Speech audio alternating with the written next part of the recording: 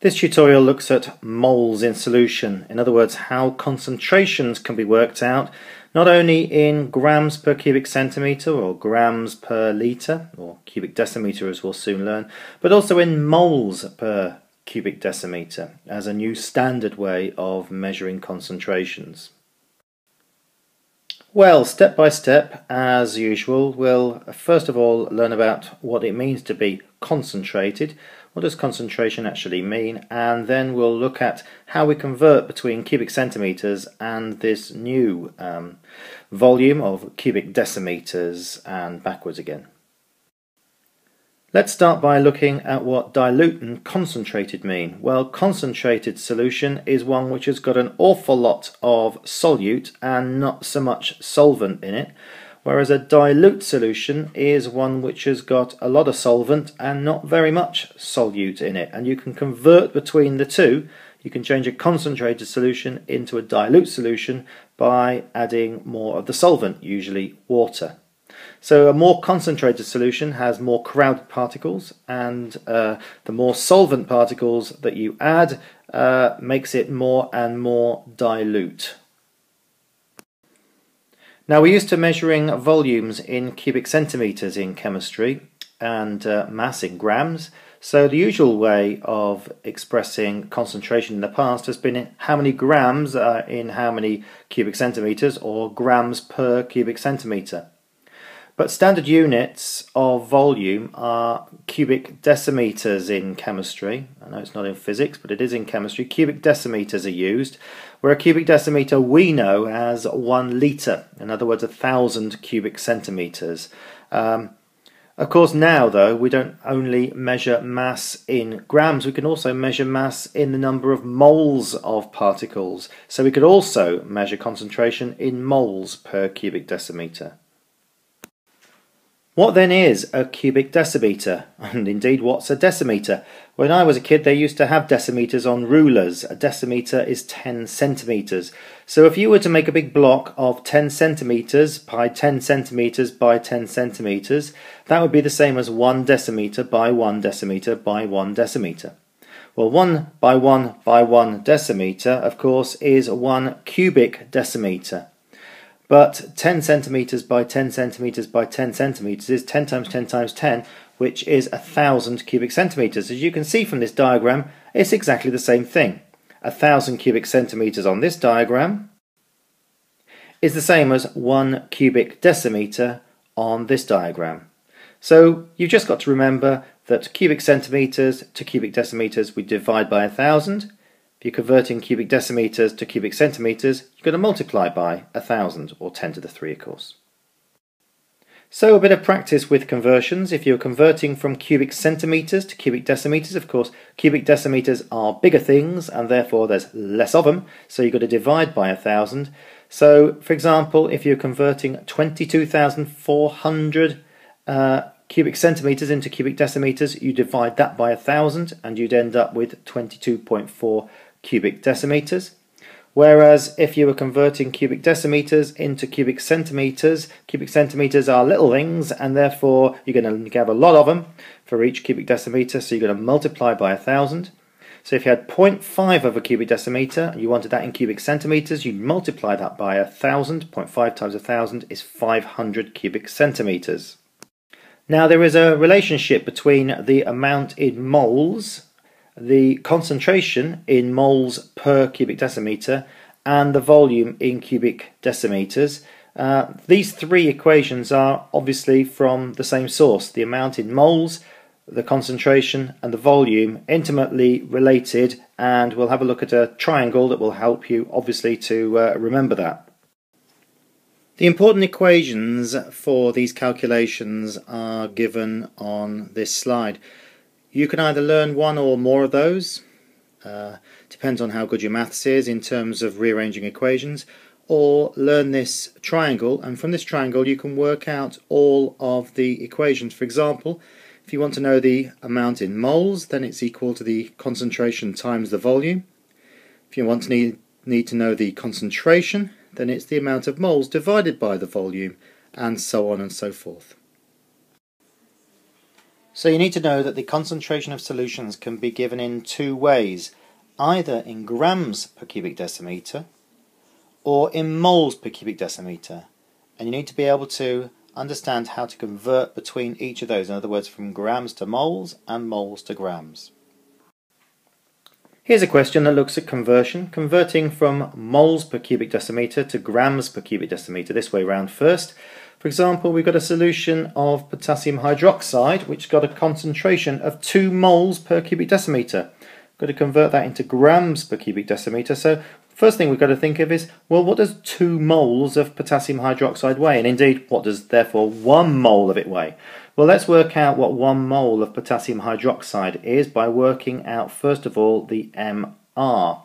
And the MR, well, it's got one potassium, which is 39, and it's got one oxygen, which is 16, and one hydrogen, which is 1, which is going to come to 40, 56 units, and therefore 1 mole is 56 grams, and therefore 2 moles is going to be 2 times the mass of 1 mole, twice the molar mass, which is going to be 112 grams.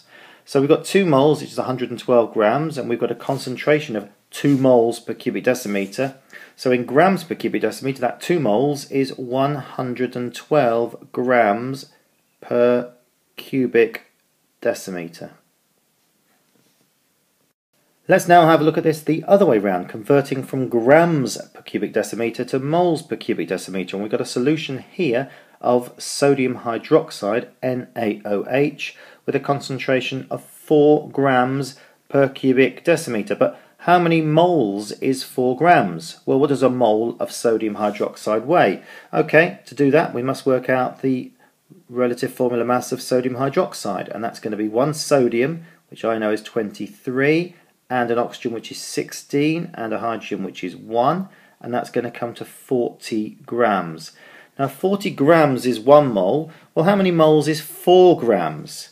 Okay, well we've got the mass 4 and we've got the molar mass 40. So the number of moles equals the mass over the molar mass,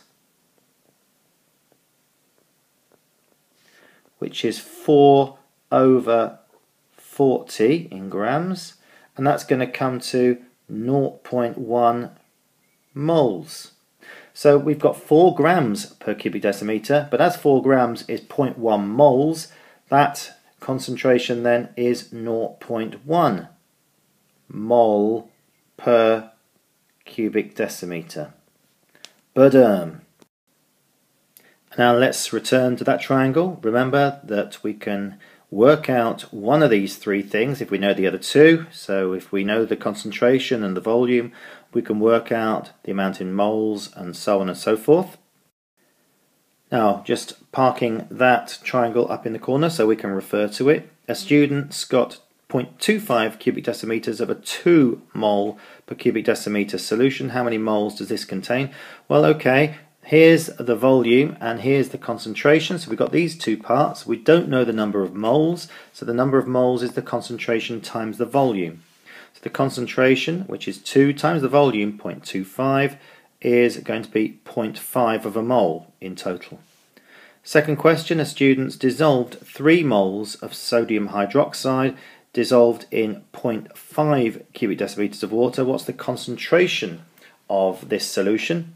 Well, here we know the number of moles, 3, and we know the volume, 0.5 cubic decimeters, and it's the concentration we don't know. So the concentration is going to equal the amount in moles over the volume. So the concentration amount in moles over volume, which is 3 moles divided by 0.5, which is 6 moles per cubic decimeter. You can see how important it is going to be to learn that triangle there. Final part of this part of the specification is to perform calculations involving the concentration for simple dilutions of solutions, for example, making a more dilute solution from a more concentrated one. Let's then take the example which is given in the specification. We want to be able to dilute a solution of 1 mole per cubic decimeter down to a solution of 0.1 mole cubic decimeter. And I suppose that's a bit like um, diluting orange squash. You know, you take a concentrated solution of orange squash and you make a dilute solution, and what do you do? Well, you add water. You take some of the original solution and you add it to a larger amount of water. So that's what we're going to do. Well, this diagram on the left hand side represents my 1 cubic decimeter, that's 1000 cubic centimeters, of my 1 mole per cubic decimeter solution, um, and that contains a whole mole. 1 mole dissolved in that volume. But of course, for my solution I'm trying to make on the right hand side, which is much more dilute, so paler blue, I only need 0.1 of a mole. Now, how am I going to get 0.1 of a mole from here? Well, I'm going to take one tenth of the solution, which is uh, 0.1 of a cubic decimeter, or essentially 100 cubic centimeters. I'm going to skim that off the top here. I'm then going to add water to it, but I'm not going to add it to 1000 cubic centimeters or 1 cubic decimeter because then I'm going to have uh, 1.1 cubic decimeters or 1100 cubic centimeters. Don't want that. I want 1000 cubic centimeters. So I'm going to add it to the rest of the water. I'm going to add it to 900 cubic centimeters or 0.9 of a cubic decimeter because this tenth of a mole is mixed up already with 0.1 of a cubic decimeter, so to make it up to a whole cubic decimeter I have to add the other 0.9. So that's shown here. And then when I add these two together, I've now got 1 cubic decimeter or 1000 cubic centimeters in which is dissolved 0.1 of a mole. That's how it's done. Here's a couple of other questions. You're given a 500 cubic centimeter uh, amount of a 2 mole per cubic decimeter solution of sodium hydroxide, but you want to make up 100 cubic centimeters of a 1 mole per cubic decimeter solution. So this solution has to be half the concentration. So essentially what you would do is you would take uh, equal amounts of the original solution and water. So I'm going to take 50 cubic centimeters of that original solution and top it up with 50 cubic centimeters of water and then it's going to be half as diluted or twice as diluted I should say, half as concentrated. In my second case, I'm going to make up a 100 cubic centimeters of a 0.5 mole per cubic decimeter solution. Now if it's 0.5, it's a quarter the concentration of the original. So I need to make this up with a quarter of the original solution and three quarters of water to make up 100. So a quarter of the 100 is going to be 25 cubic centimeters taken out of this solution. 25 and I'm going to dilute it with uh, three quarters or 75 cubic centimeters of water.